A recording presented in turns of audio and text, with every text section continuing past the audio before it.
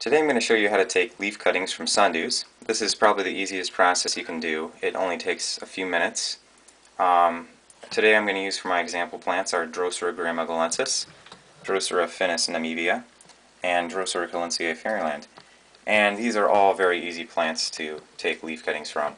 Um, you can use pretty much almost all um, South American sundews except for Drosera meristocaulis, um, and pretty much all South African sundews, from what I know so far, are able to be propagated via leaf cuttings. Um, so supplies you'll need today are a pair of narrow scissors. Um, you want a pair like this so that you won't disturb the plant too much when you're cutting um, the leaf off.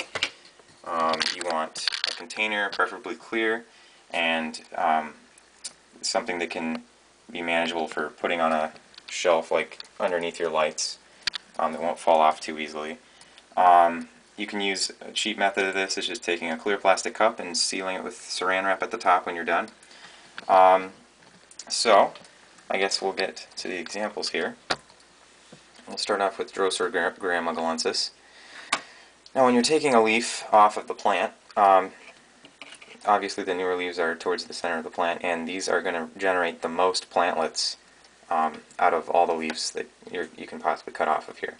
But if you don't want to, if you're like me and don't want to ruin your nice looking plant, um, you can take an older leaf and it will still regenerate a decent amount of plants for you.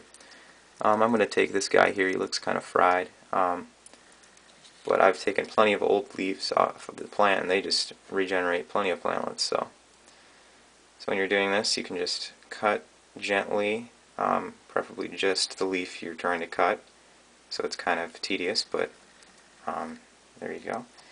Um, and as you can see, it's not the entire leaf. I just cut probably three-fourths of it off. But you can honestly use just half of a leaf and it'll still get the job done. Um, a whole leaf is probably best if your plant is younger because um, you want as much tissue as possible to regenerate the most plantlets here. So what you want to do is put the leaf facing upward into the water and you want to partially submerge it so that the um, leaf doesn't desiccate. Not that it will and when it's floating in water, but I think they might last just a bit longer when you float them or push them under rather than floating them on the surface. Um, for another example here, we can do for Drosera affinis namibia. Um, we'll just take an older leaf here as our example. And these are probably the easiest you can possibly do because they have long petioles. There we go. It's getting away from me. So, um, in this leaf, you can see that there are a few um, food particles. I may have had an old Beta-Bite fish food pellet on here. Um, so you want to remove all the food that you can possibly get off of the leaf to prevent mold growing in your um, leaf cutting container. Um, I may have to use my hands on this one, but um, if you have any um, food or any insects in there, they'll pretty much, you'll have to change the water a lot. And with leaf cuttings, honestly, what you want to do is minimize your workload as much as you can, whenever you can. Because um, honestly, I've put some of these guys under the lights for months and not even worried about them, and that is the ideal case that you want, just to not even have to worry about them. So, as you can see, that's upside down. So, it doesn't really matter if they're upside down, but it helps if they're facing upward because that's where the plants are regenerated, is right where the tentacles are and pointing upward. Um, if, if it's upside down, they, they find the way up, but they have to travel a little further, and it wastes a bit more energy than is necessary. Last example is Drosera Fairyland, and um, this is another easy one um, to get into because for the most part there's a nice petiole on this one. I'm going to take an older leaf, probably at the bottom here. Um, I don't want to disturb too many of the newer ones. So if you can get under there, it's kind of a tedious process sometimes, but not a big deal at all. So there you go. Um, cut that off, come on. There we go. So then you can just take that and put it down there with the rest of your leaves. Or leaves, I should say. Alright. So that's basically it. Then what you do is you take your top and you can just put that on there or seal it with the saran wrap, whatever you're doing. And you want to place these as close to the lights as, on, um, as possible without overheating them. I've set up a little post office mailbox, whatever, um, mailing box from Priority Mail um, that will put my plants with or leaf cuttings within a decent amount of um, distance under my lights while, I, while they won't get overheated. I want them as close as possible. Um, my lights are up right now. I'd put them down to give you a better example, but I just had to um, have them up for this demonstration so you can see what I was doing under there. Um, basically, the idea here is you don't want your um, plants plantlets to overheat during this time. So just make sure that they're probably you know two to three inches under the lights so that they um, are far enough away where they're not going to get overheated in this container. Um, the heat can kind of build up.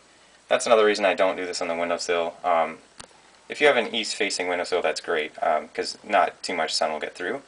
But um, the reason I do it under lights is that um, it seems to be the fastest method for propagating these guys. I can get pretty decent sized leaf uh, buds forming in at least two weeks. Um, the thing about the temperature is, with Drosera graomogolensis, I can normally get plantlets from this guy in about two to three weeks if, if it's under nice conditions. Um, ideally, when you're putting these leaf cuttings under the lights, you want them in the same environment that the mother plant is growing um, because you know it, they're going to be successful there. If they look nice now, you can imagine that the um, plantlets will look nice when they're um, ready to sprout up. And so, um, but with this guy, I had him when it was in 95 degrees um, in my dorm room. I had these guys, uh, it took about a month, maybe two months total, in order to regenerate a, just a small plant, plantlet. Um, and once I got them in a cooler temperature, they just took off. So temperature does play a role, and you also want kind of a temperature drop for these guys, um, especially the South American sundews, because um, it promotes faster growth. Here's an example of a few that I've done of Drosera affinis namibia from a little while ago. You can't really see them. Um, these are about from uh, two months ago. They've been hardened off and they are ready to be fed. Um, you can see my next video I, I, give a demonstration of that. Um, and here's a Drosera Ivan's paddle, which is the by far the easiest sundew to take leaf cuttings from. You can uh, you can see leaves, uh, the buds forming with almost within a week. It's pretty fast. Um, and I guess that's pretty much it. Uh, if you have any questions, free, just definitely let me know. Um, I'm going to have a few other videos posted, like I mentioned, about this process. Just giving you guys a little bit of explanation if you're just trying to learn this for the first time. So thanks for watching and good luck with your propagation success. Hope this helped. And I will see you around online, hopefully. Um, so I'll talk to you later.